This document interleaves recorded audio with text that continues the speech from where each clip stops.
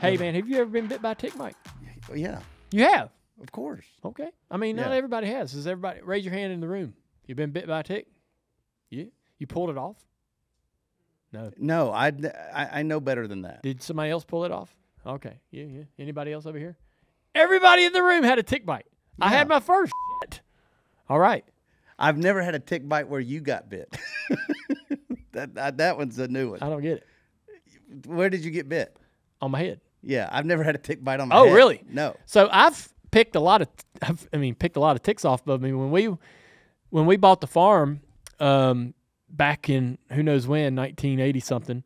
Dad had us walking all up, all out in the woods, you know, uh, marking with trees, and and they go paint the the property line. And you know, back then, man, we were picking ticks off left and right. But I've never had a tick bite me.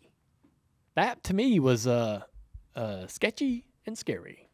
So I haven't been out in the woods or nothing, right?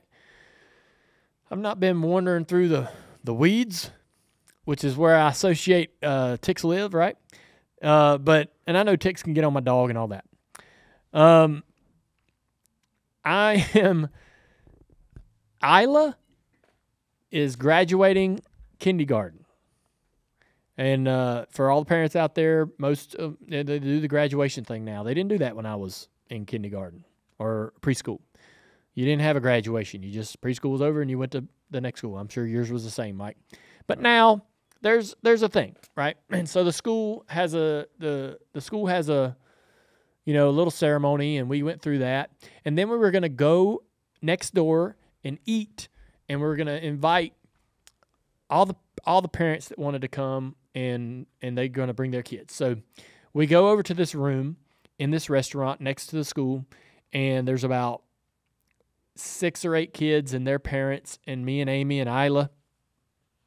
And uh man, it's mayhem, kids running around in this room. There's there's balloons and you know, cupcakes and everybody's trying to order food and it's just chaos. And I've been sitting in there for a while and I don't know why, but I rubbed the side of my head, you know, and it must have been the tick actually biting me. I didn't, I don't remember feeling anything, but I just instinctually like rubbed the side of my head, and I'm like, "What in the hell is that?" I felt it, and I grabbed it, and I yanked it off, and I and I looked briefly at it and threw it on the floor. How big was it? You reckon? Um, rather, It sounds big. yeah. If you it was felt a, it like that, Yeah, it was about almost the size of a top of a of a pencil eraser. Not- yeah, that Not, I mean, legs and all, right? It was it wasn't tiny. no. Um, and all right, my initial reaction was, "What in the hell is that?" Grab it, pull it, throw it down, like out of my hands. And then immediately I went, "I shouldn't have thrown that on the ground." Right. Let me look down. Is it going somewhere? Right. But it's laying on its back, flailing its arms. And I'm sitting there for, it seemed like forever, but it was literally seconds. And I was like, damn it, did that just happen? I got a tick bite. So I've had a friend of mine who had uh, some issues from a tick bite. So I've got this paranoia already. Like, damn it. You know, what does this mean? And so, uh, I was like, oh man, maybe I should pick it up. So I, I, I need, I need, I need to know. I don't even know if it's a tick. What if it's not a tick? Of course it's a tick, but I don't know if it's a tick. I haven't really looked at it. So I grab this napkin, and I've got this empty glass that I drank some orange juice in. It's empty, and I pick it up and I look at it, and it's freaking a tick immediately. I'm like, damn it. So I ball it up in this napkin and I put it in this cup, and I'm sitting there looking at it. And now I'm googling. I get on my phone. Oh Lord. Google's like 42% of ticks carry Lyme disease and all this bad news, right? And I'm I'm not diving into the details, right? I'm I'm reading all the all the bad headlines and just spiraling into panic mode. And uh, also, while I was googling, I found out that you can send these off, get them tested, right? Hmm. And I'm like, I'm definitely, I definitely need to do that. We need to send this guy off and get him tested. And so I don't want to wonder because they're like, hey, you know, if there's any kind of reaction to this, it's it's one or twenty days. Who knows, right? When when you're going to have some sort of reaction, and the reactions are symptoms that are common symptoms of all types of illnesses. So I'm gonna be sitting there going, hmm, that, is this the tick bite that's happening here? And I got a little, Nothing can happen I without got- you assuming the worst. I got some aches and pains. I mean, what's going on here? Tick bite. That's right. So I'm absolutely assuming the worst, and I'm panicking inside. And uh, anyhow, A- Amy sits down. She's like, "What's going on?" And I was like, "Man, I pulled a damn. I mean, I t- say it real quiet. I don't. There, I don't want anybody in the room knowing what's going on if they don't already.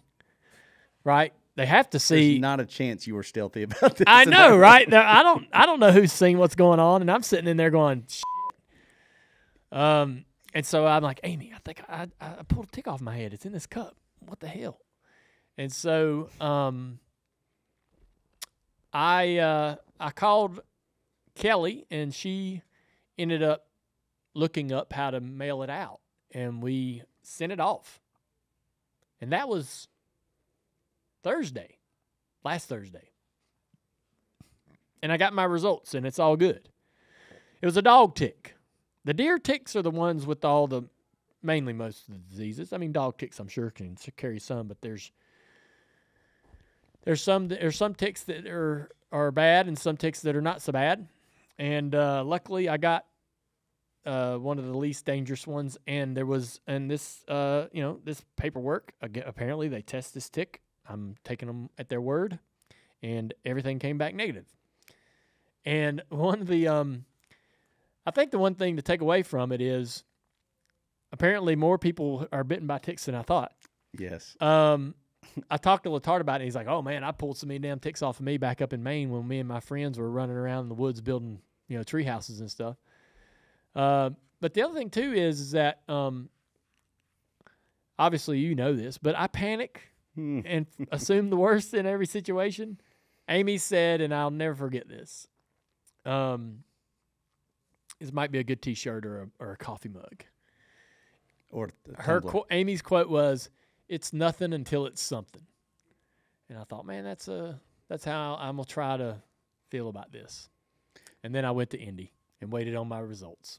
Whether or not that becomes a T-shirt that we sell, I definitely want to get that T-shirt made for you to Yeah. have with you every day It's because you're nothing- right. It's That is nothing something. until it's something. So it's funny. Um, I want to give you such a hard time about this because uh, it's funny to me. Sorry, that- I that mean, you read, hold up. Lyme disease is serious. Oh, people, yeah. people that have had Lyme disease, like that is no joke, right? Right, yeah. No joke, and it's long. It like it takes, uh, you know, for a long a long time to get past it. Yeah. Um, I don't know that the word like what when I hear you tell that story, I'm thinking of something completely different than Lyme disease that I thought that you were. Scared of? Uh, yeah. When you pull a tick off, don't you have to pull it off a very specific way? Or, like I'd always learned, burn it off because you don't want to pull it off and the head would stay in it.